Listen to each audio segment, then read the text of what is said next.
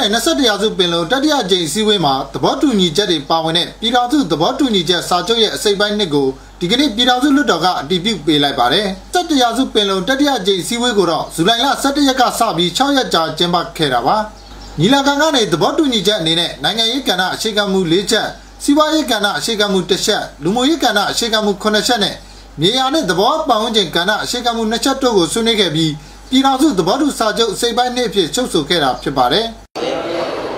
ကျောင်းသူငင်းရရေးဒီလာကန်27ရာစုပင်လုံတတိယအစည်းအဝေးမှာလက်မှတ်ရေးထိုးရရှိလာတဲ့ကျောင်းသူသဘောတူစာချုပ်စိတ်ပိုင်းတွေကို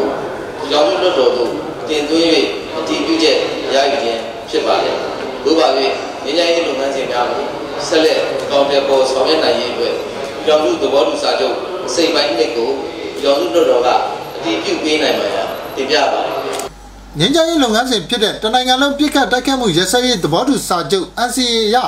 ကျင်းပတဲ့နိုင်ငံရေးဆွေးနွေးပွဲမှာပြည်ထောင်စုသဘောတူညီချက်တွေကိုအနည်းဆုံးကျင်းပတဲ့ပြည်ထောင်စုလွှတ်တော်ကိုတင်သွင်းပြီးအတည်ပြုချက်ရယူရတာဖြစ်တယ်လို့သိရပါတယ်။လက်ရှိအစိုးရလက်ထက်2016ခုနှစ်ဩဂုတ်လကုန်ပိုင်းက